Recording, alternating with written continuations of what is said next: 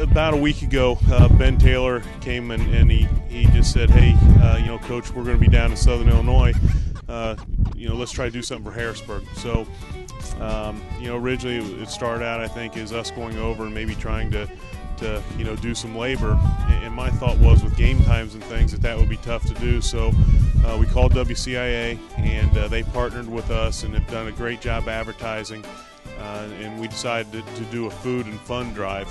Uh, so we, uh, you know, we not only work with CIA, but uh, this is it furniture and, and, some other people within the community. Our dugout club has done a great job. Reynolds Towing. Uh, we've had people drop off uh, not only donations for Harrisburg, but we've had people that have dropped off food items for the workers. Coach Hartleb and I just thought it was a natural tie-in with Reed being from Harrisburg and with us going down to the Southern Illinois area play SIU and, and NIU this coming weekend um, over the first end of spring break. Thought it'd be a great time to go, you know, be able to raise some money, raise some, bring together some items, and deliver them while we're down there in that area. And then when Coach Hartleb was able to, to get Jennifer Roscoe and Channel 3 on board, that's when it really took off.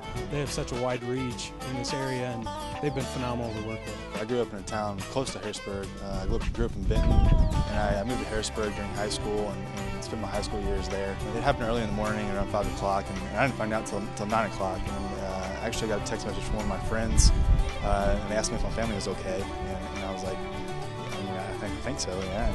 And, so it was that point where um, she, uh, my friend told me there was a tornado, and I texted my mom, and my dad, to see if they're okay, and they said they were. We've had other sports that have done a great job uh, that have helped us. Soccer's been out. We've had men's and women's track out. I know we're going to have athletes from some other sports that will be coming out uh, to help us throughout the day. Uh, the community here has been awesome. Uh, it's about 2 o'clock. Uh, we started 6 this morning. We're going to go till 7 tonight, but at this point at 2 o'clock, we've raised almost $4,000.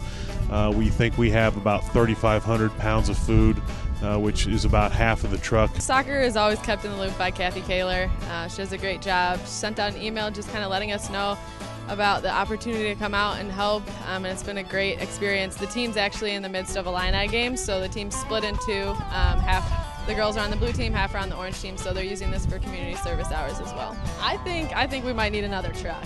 I'm just going to go out. I'm going to put that out there to the community today. We might fill up two trucks today. I think it's important for our players to understand that we need to give back uh, to the community, to the state. Uh, so many people around the state and around the, you know, the, the United States uh, do a lot of things for the university and for our athletes. It's really cool to see uh, University of Illinois athletics and, and, the community of Champaign-Urbana to, to come together in this time and um, you know contribute um, and, and, try to help some people out. It's a long process. You know, at first it was you know pretty devastating to uh, to the community. But I think in this time, the community is really pulled together, and um, everybody's helping everybody out. And so it's, I think it's a time where um, you know there's some devastation, but everybody's coming together and helping everybody out.